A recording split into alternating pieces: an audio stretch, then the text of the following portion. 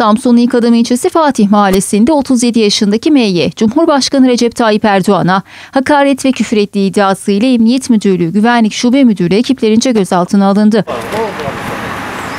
Emniyetteki işlemlerin ardından adliyeye sevk edilen M'ye basın mensuplarına teröre sövdüğüm için bu oldu dedi. Teröre sövdüğüm için bu. Sorgusunun ardından adliyeye sevk edilen şüpheli çıkarıldığı nöbetçi mahkemece adli kontrol şartıyla serbest bırakıldı.